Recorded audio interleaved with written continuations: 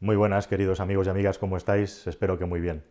Hoy es uno de esos típicos días largos que empezó pronto y está terminando bastante tarde.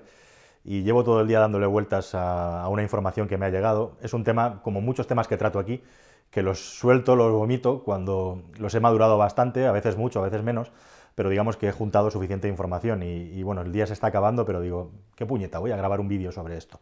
Y aquí estoy, delante de la cámara otra vez. Quería hablar un poquito de publicidad y de una cosa que está pasando muy curiosa ahora, eh, y además aprovecho para contaros algunas cosas nuevas.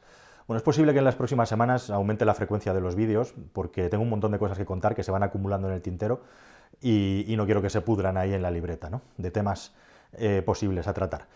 Eh, una de las cosas que tengo pendientes, por ejemplo, es una prueba que he hecho de un Toyota Prius, que no he tenido tiempo de grabar con mis propios medios, pero bueno, usando material de la marca y algunas cosas que he grabado con mi copiloto, eh, con el móvil directamente, pues os podré explicar el coche de una manera más o, menos, más o menos completa, ¿no? No es una novedad desde luego el Prius, pero bueno, siempre es interesante probarlo y explicar, creo que, mis impresiones sobre el coche.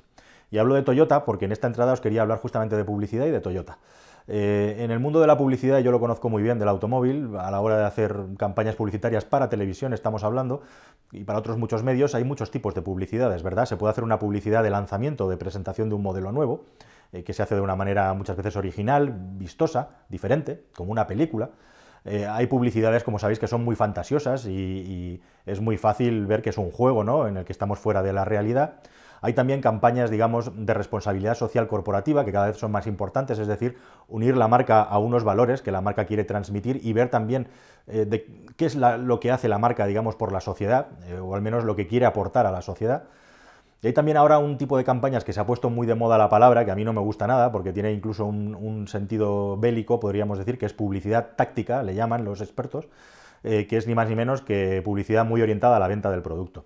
Y actualmente Toyota, y desde hace un tiempo, está haciendo mucha publicidad en España, y, está haciendo dos tipos de publicidad al mismo tiempo. Por un lado, una publicidad, digamos, muy corporativa o de responsabilidad social corporativa, con esta campaña de Conduce como piensas, que es una campaña muy bien hecha desde un punto de vista técnico y desde un punto de vista creativo. Y por otro lado tiene anuncios más de vender coches, ¿no? en los que te presenta sus productos y ventajas competitivas de esos productos. Y una publicidad y la otra están conviviendo constantemente en televisión. Es interesante que Toyota ahora está invirtiendo mucho en publicidad justo en el momento en el que hay la gran crisis del diésel, ¿no? Y Toyota pues aprovecha esta debilidad del diésel para presentar su modelo alternativo que realmente lo tiene eh, de producto de automoción. Y digo que, es, que eh, me, entristece y realmente este vídeo lo estoy grabando como una crítica porque, porque me parece que la publicidad que está haciendo Toyota eh, más táctica es, roza, yo no sé si la palabra fraudulenta puede sonar un poco fuerte, un poco agresiva, pero desde luego si no es fraudulenta podríamos decir que es una publicidad que roza lo engañoso o, que, o que es confusa y me voy a explicar. Por un lado, como digo, está la publicidad eh, corporativa, podríamos decir, de Conduce como piensas, que son unos spots preciosos, espectaculares. De hecho, para mí, el mejor anuncio de 2017 en España, no solo de coches, sino en general, es el anuncio de Conduce como piensas de, Toyota, protagonizado por Daniel Guzmán. Me parece brutal ese anuncio, por el actor y director Daniel Guzmán. Espero que lo hayáis visto y que veáis televisión, al menos que sepáis un poco de lo que os hablo. Eh, pero por otro lado, Toyota tiene unos anuncios y hoy me ha llegado una nota de prensa, que es lo que ya me ha hecho eh, decidirme a grabar este vídeo, en los que vende sus automóviles eh, híbridos como automóviles que tienen baterías, pero que no hace falta cargarlas. Anda, mira, como el que te acabas de comprar. Ah, sí, de hecho es el mío. A ver, es que lo he puesto en una app para compartir coche. Si total al curro voy andando. Oye, ¿y no hace nada de ruido? Ah, porque estará en modo eléctrico. Elige Toyota Yaris Electric Hybrid con baterías autorrecargables y modo eléctrico. ¿Cómo vuela nuevo, tío? Buah, ¿y esto? Esto te indica el nivel de las baterías. Pero... ¿dónde se enchufa? No, hombre, no, se cargan solas. Es un híbrido de Toyota. Venga, vamos. ¿No, lo estrenamos? No, no. ¿Tú sabes cómo se pone el centro hasta ahora? El nuevo Toyota Yaris Hybrid con cambio automático y baterías autorrecargables es el mejor coche para la ciudad.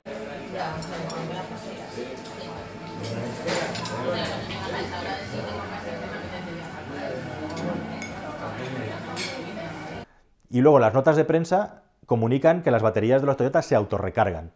Eh, pues mire, no. O sea, lo que, están, lo que ustedes están haciendo, lo que intentan, es diferenciar sus coches y sus híbridos, porque no tienen coches eléctricos, de los coches eléctricos, con toda la problemática que tienen los coches eléctricos para cargarse, ¿no? Tiempo de recarga, lugares de recarga, etcétera.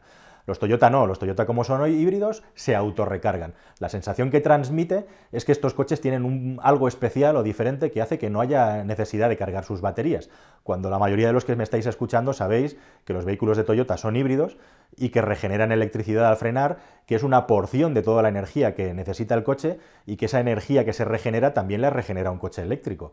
Entonces esa ventaja competitiva, digamos, no existe en tanto en cuanto un coche eléctrico hace lo mismo, solo que un coche eléctrico solo funciona a pilas y un coche híbrido tiene un motor de combustión que funciona con un combustible fósil. Entonces esto de que un coche híbrido de Toyota se autorrecarga o no hace falta enchufarlo, pues es verdad, desde un punto de vista es verdad técnico, y seguro que su departamento legal lo tiene bien atado para que autocontrol no se meta con ellos, pero a mí me parece una manera de confundir y me pregunto cuántas personas que ven estos anuncios y no saben de coches, o simplemente lo están escuchando, se quedan con la idea de que Toyota tiene algo mágico, que en coches con baterías no hace falta recargarlos. Bueno, pues como digo, técnicamente e incluso a nivel de lenguaje, eh, todo lo que dice Toyota es correcto, pero lo que no te cuenta es que su maravilloso sistema de autorrecarga pues realmente no serviría más que para recorrer 2, 3, 4 kilómetros en el mejor de los casos si vas con el freno suavemente pisado cuesta abajo, como he hecho yo con el Prius en la prueba que le he hecho, que le he hecho más de 1000 kilómetros y tengo bien fresquito cuánto es capaz de dar un, híbrido de Toyota. Así que digamos que, me parece una publicidad que, que, como digo, lleva a la confusión y no me parece lícito. De hecho, bueno, me ha dado por mirar un minuto en YouTube eh, Sports de Toyota em, para ver lo que comentaba la gente y evidentemente lo que me he encontrado es que todos los promotores del coche eléctrico pues les están dando a base de bien en los comentarios. Y la verdad es que en este caso no me extraña. Así que bueno, pues aquí queda. Eh, hoy le doy a Toyota, pasado mañana le di, o anteayer le di a Volkswagen, pasado mañana le daré a otro, porque me da igual. O sea, aquí estoy para contaros las cosas según como las veo. Y la segunda parte de esto de lo que os quería hablar rápidamente, porque no quiero hacer esto muy largo, es de, justamente de Tesla, que no hace publicidad, ni falta que le hace, ¿no? ¿Verdad? Porque ya está el mundo lleno de, apóstoles de la palabra de San Elon Musk y, mejor publicidad que le hacen los fans a, Tesla es imposible. Pero si lo que sí que hace Tesla mucho es vender cosas por adelantado que luego no puede cumplir, ¿no? Y realmente eh, con el asunto del autopilot, del autopiloto, eh, Tesla ha estado confundiendo a la gente y vendiendo algo como una especie de superpoder en el coche que su coche no tenía, que no era además legal utilizarlo como lo ha estado utilizando y que además ha tenido que recular ahora eh, porque le ha obligado la Autoridad de Seguridad de Estados Unidos vinculada con los accidentes de tráfico. El tema del autopilot es, ya un asunto pasado. Todos sabemos que no hay, autopilot ahí posible y que tampoco hay regulación y hay que llevar las manos en el volante. Por cierto, las manos bien puestas, no con la mano agarrando el volante como si estuvieras agarrando, yo qué sé, un, muñón o un cubata. Lo, que, lo que os quiero contar también de Tesla, y esto va a ser objeto de una entrada siguiente y aprovecho para introducirlo aquí, es que el problema gordo viene ahora. El problema gordo viene ahora con lo del Full Autonomous Drive que ha estado vendiendo con paquetes por adelantado en sus coches. Por un lado tenemos que vende el autopilot mejorado y por otro lado por 6.000 dólares y por otro lado puedes comprar por 4.000 dólares o euros eh, el paquete de conducción autónoma mejorado. Cuando a ti te venden un coche, conducción autónoma mejorado, no, autopilot mejorado. Conducción autónoma completa, full autonomous drive, es lo que vende Tesla. Cuando tú te compras eso, lo que piensas es que tu coche conduzca solo, ¿no? Bueno, pues yo te digo y te afirmo y reafirmo que ese sistema que está vendiendo en total por 10.000 dólares Tesla que no se sabe cuándo va a estar 100% operativo, y ya te lo dice en la letra en la página web que esto depende de regulaciones y de cosas que pueden ocurrir, este sistema va a llegar como mucho a ser un nivel 3 justito, es decir, como mucho vas a tener un modo de conducción en atascos automático con una velocidad limitada o un modo de autopista muy limitado. En ningún caso va a ser un coche con nivel de conducción autónoma avanzada, nivel 4 o nivel 5, porque a nivel de sensorística es que no puede, pero es que además Tesla ha conseguido eh, lo, que, parecía imposible, que es que cada puñetero coche de Tesla que se accidente sea noticia, que es una cosa absolutamente injusta para una marca de automóviles porque solo ocurre con Tesla, pero es que Tesla se lo ha buscado con toda esta burbuja que ha creado, con el autopilot y con la función de conducción autónoma completa que no existe ni va a existir, salvo que para ellos conducción autónoma completa sea un modo atasco un modo autopista, como os digo, que ya tiene coches como el Audi A8 que efectivamente todavía no se pueden aprovechar porque no hay legislación para ello, para que veáis. De momento todo es nivel 2, también el autopilot mejorado. Pero sobre esto os voy a hablar en una nueva entrada, eh, porque hay mucho que contar aquí sobre las limitaciones que tiene este sistema y a Tesla se le viene un problema importante con esto. De hecho, ya ha habido una primera demanda que prácticamente es, simbólica, es ridícula. Creo que se está pagando entre 20 y 120 dólares de indemnización a una serie de usuarios que han demandado a Tesla porque las actualizaciones que prometieron del autopilot no llegaban. Pero como digo, esto es solo la punta del iceberg y lo voy a tratar en un vídeo aparte.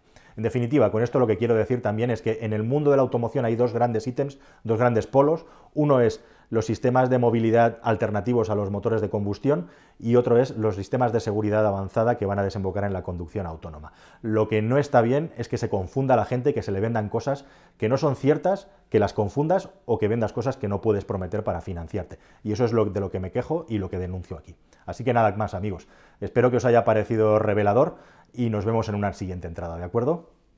Hasta luego.